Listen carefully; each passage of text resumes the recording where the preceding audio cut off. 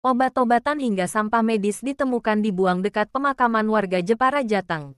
Warga Jepara, Jawa Tengah, dihebohkan dengan temuan obat-obatan dan sampah medis yang diduga sengaja dibuang dekat lokasi pemakaman di RT 3 RW 2, Duku Gempol, Desa Mambak, Kecamatan Pakis Aji, Kabupaten Jepara.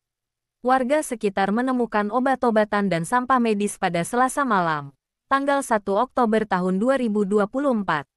Beberapa obat-obatan dan sampah medis tampak sudah dibakar sehingga menimbulkan aroma menyengat. Salah satu warga, Sunarto, mengaku mencium bau aneh dari lokasi tersebut sehingga memutuskan untuk mendekati lokasi dan memeriksanya. Awalnya saya kira sampah biasa, tapi baunya sangat menyengat. Begitu saya mendekat, ternyata ada obat-obatan, botol obat, masker, dan lainnya. Jumlahnya kira-kira satu mobil pickup ujar Sunarto. Tak hanya di lokasi dekat makam. Lanjut dia, di tempat terpisah yang tidak jauh dari sana.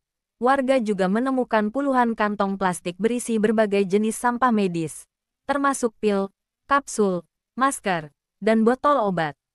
Bahkan, beberapa obat yang ditemukan memiliki tanggal kedaluarsa hingga 2028. Diperkirakan, jumlah sampah medis di lokasi tersebut mencapai satu truk. Menanggapi hal tersebut, Kepala Dinkes Jepara, Mudrikatun memastikan sampah medis tersebut bukan milik puskesmas atau fasilitasi kesehatan, Faskes pemerintah Kabupaten Jepara. Instalasi farmasi Kabupaten IFK, Jepara tidak memiliki obat-obatan tersebut. DKK tidak pernah mengadakan dan mendistribusikan obat-obatanan seperti yang ada di video. Papar Mudrikatun.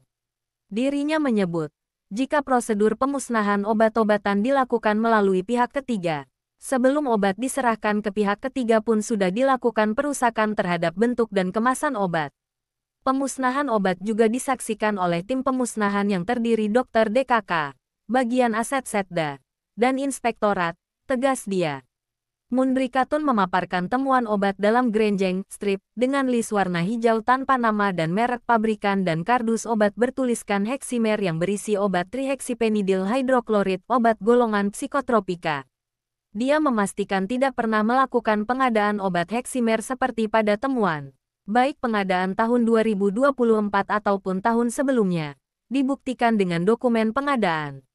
Pabrikan Mercy Pharma dan distributornya mengonfirmasi bahwa sejak 2016 tidak melakukan produksi heksimer kemasan botol isi 1000 tablet.